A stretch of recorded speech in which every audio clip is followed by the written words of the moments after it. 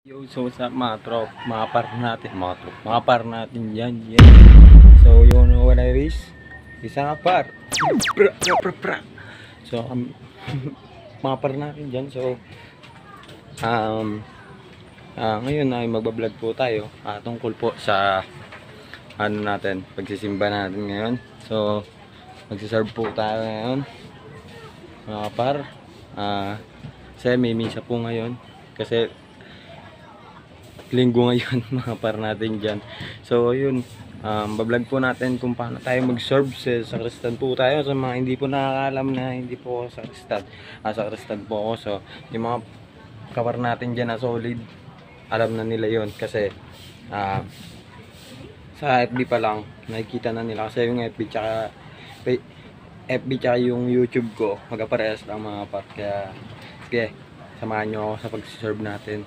So, painintay natin. Let's go!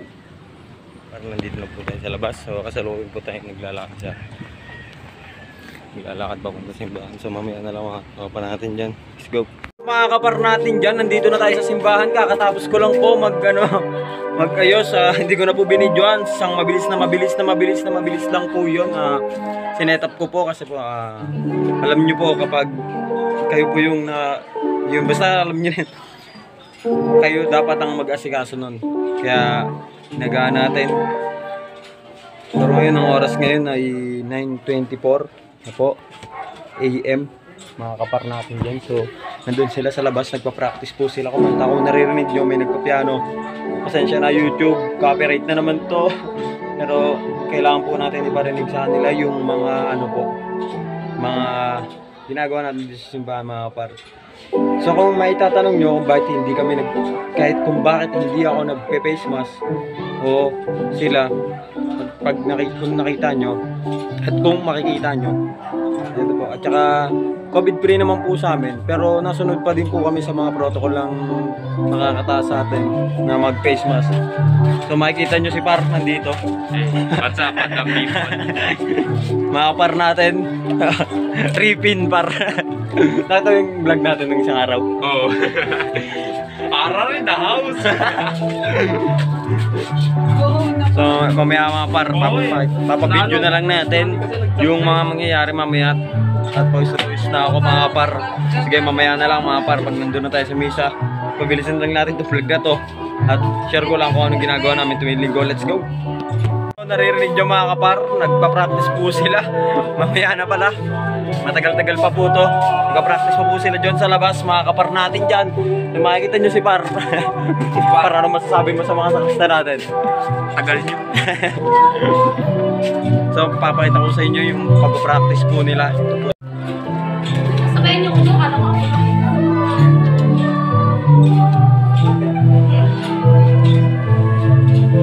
So, get so, so, so, get so. Sabi ko, Ito yung mga par, makita nyo na yung mga practice nila. So, basta mamaya-maya, ah, update ko lang kayo sa lahat na mangyayari at sa lahat ng gagawin ko doon. Mga kapar natin dyan. So, magabang lang kayo palagi. Let's go! Pra! Bukal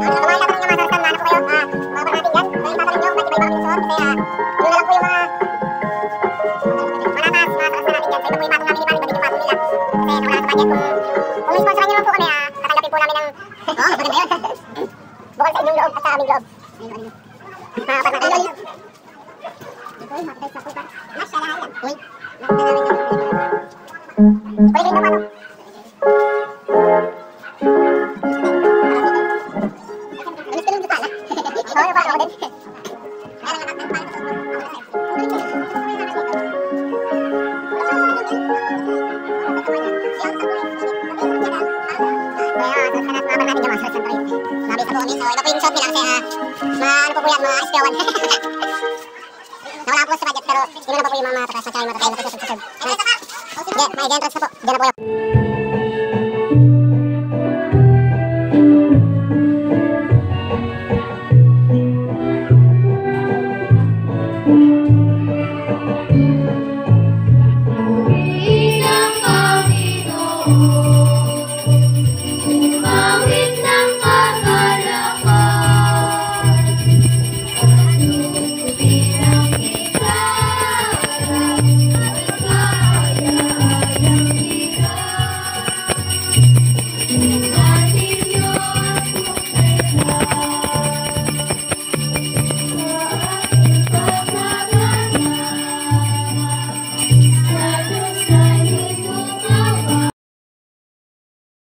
suwayin. Ang tao po ay ah, madalas na na liligwa kahit ipakita ng Diyos ang kanyang dakilang pagmamahal, paggabay, pagbibigay ng mga biyaya, ng mga pagpapala. Sa una, natutuwa, nagpapasalamat, pero bandang huli, nakakalimutan na ang kagandahang loob ng Diyos. Marami sa atin sa mga tao na sa ay oo sa Panginoon habang tinatamasa natin yung mga biyaya na ipinagkaloob niya. Laging oo, oo tayo sa Diyos. Pero paglipas ng mga araw na merong mga pagsubok tayong pinagdaraanan paglipas ng araw na nagkaroon ng COVID-19 paglipas ng mga araw na tayo naapektuhan at wala tayong makain. Paglipas ng mga araw na tayo nawala ng trabaho at hanap buhay, nakakalimutan na natin ang buong may kapal. Madali tayong makalimot sa kagandahang loob ng Diyos.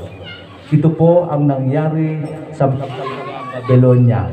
Ito yung nangyari ng pamunahan ni Moises ang mga Ehipsyo sa paglabas upang magtungo sa lupang pangako ayon sa iniutos ng Diyos kay Moises.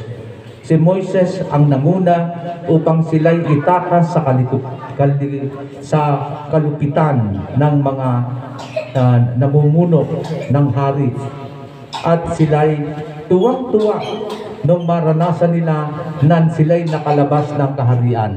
Nang sila'y makalabas doon sa malupit na amo, makakain lamang ng ah, karne ng tinapay ay kapalit ang kanilang sakripisyo at hirap na dinaranas araw-araw sa pagtatrabaho.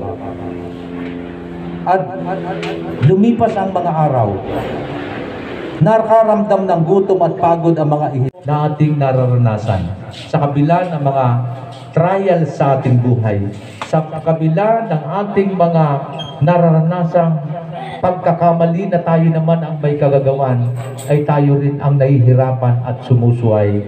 Sana ay maramdaman natin ang totoong gabay at pagmamahal ng Diyos sa atin araw-araw.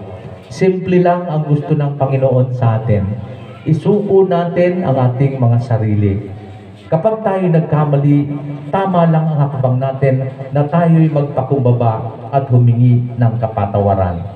Tama na kapag tayo'y naka, nakagawa ng hindi ayon sa kalooban ng Diyos, pagsisihan natin ito, aminin natin ito, at hilingin natin ang kanyang ganap na kapatawaran sa atin. At kapag ito ay ipinagkaloob na sa atin ang kapatawaran, tinanggap na natin.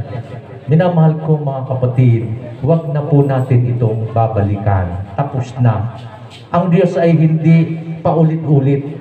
Kapag inako mo, nagkamali ka, inamin mo, humingi ka ng tawad at pinatawad ka, huwag mo na uling balikan sapagkat yun ay ipinatawad na. Humarap ka sa panibagong hamon ng buhay, tanggapin mo katulad ng ibinigay ng ating Panginoong Yesus, katulad ng kanyang paggabay na ipinapaalala sa atin na yun ang ginawa ng anak ng tao, ginawa ng ating Panginoong Yesus kay San Pablo, nang siya'y baguhin ng Diyos, nang siya'y patawarin ng Diyos, lahat ng mga masasamang alaala, kinalimutan na niya. Sapagkat ito, ang tawag natin dito ay ipinagpa sa Diyos na natin. Sana po tayong lahat, sana tayong mga choir, mga sakristan, ang pastoral, magkaisa tayo sa pagmamahal at pagtawag sa Panginoon.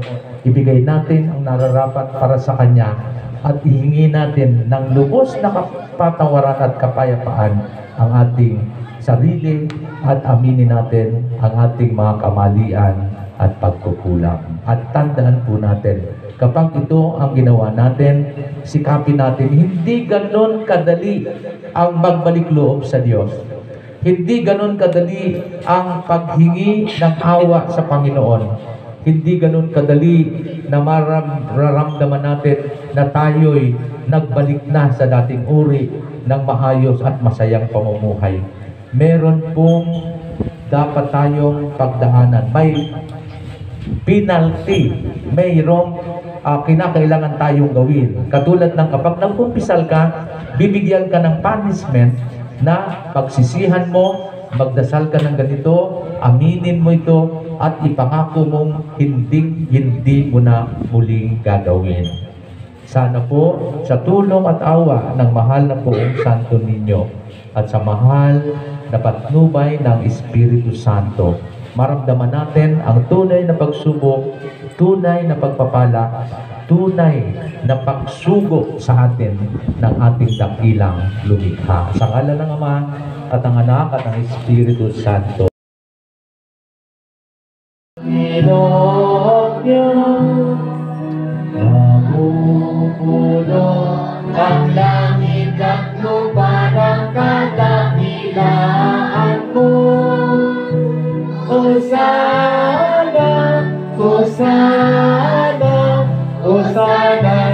sa kaitaasan. Hosana, Hosana, Hosana sa kaitaasan. Pinagpala ang naparirito sa ngalan ng Panginoon. Osana, Osana, Osana sa kaitaasan. Osana, Osana, Osana sa kaitaasan. Ama naming banal, ikaw po ang bukal ng tanang kabanalan. Kaya sa pamamagitan ng Espiritu, gawin mo po banal ang mga tao sa ito ang para sa amin ay maging katawan at tubo ng ating Bago niya pinagtiisang kusang loob na maging handog, hinawakan niya ang tinapay, pinasalamatan kanya, pinagati-hati niya yon, ibinigay sa kanyang mga alagad at sinabi, tanggapin ninyong lahat ito at kanin. Ito ang aking katawan na ihahandog para sa inyo.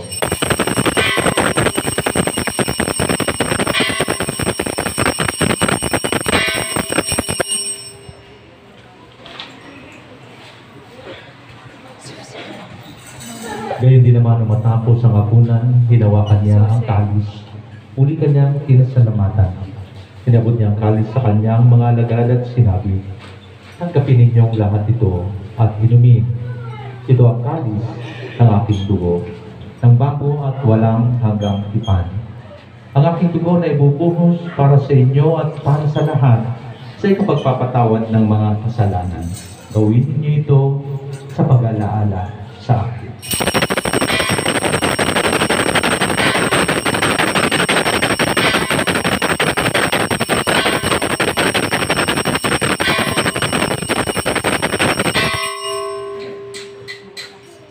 Ang misteryo ng ating pananampalataya. Si Krishna Si Kristo ay kunitain, sa bili ay inihain, bilang pagkain inumin, pinagsasaluhan natin.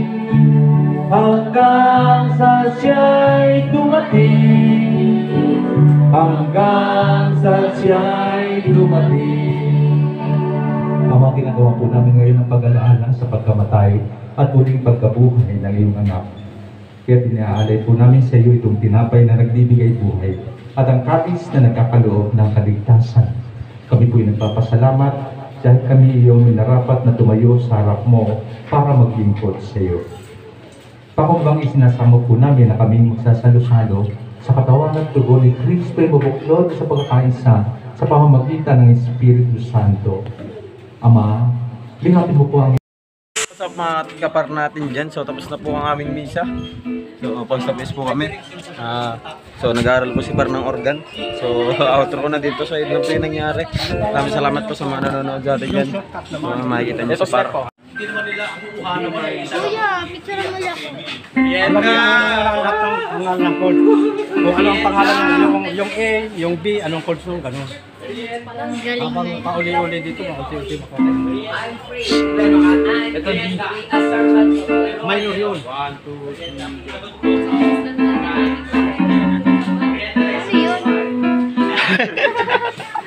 Kapar natin dyan. So tapos na ang ating misa. Um, sana nakinig kayo sa homily ni Bishop. Ah, ah konting maliwanag lang po. Ah, kaya po hindi po nakapag ano po si Bishop um, nakapag yung skull cup tapos yung samitas po. Ah, kasi po ah, mga kapar natin dyan at mga sakrista natin dyan. Dito po sa pinagnimisahan ni Bishop, masyado pong baha at naulan. At ngayon lang po umaraw, ngayon lang po gumanda yung panahon at ah, mga par natin dyan, nabasa po yung kanyang mga gamit sa pagsisimba pero hindi po yung hadlang para mapag-solve siya o mapag-misa siya sa ating Panginoon. So yun lang mga par natin dyan, dito ko natatapusin tong vlog natin. Masyado na itong umaba. So like, share, comment, subscribe. Mga kapar natin dyan, share nyo para dumami ang viewer natin. Lagi nyo panoorin. Let's go!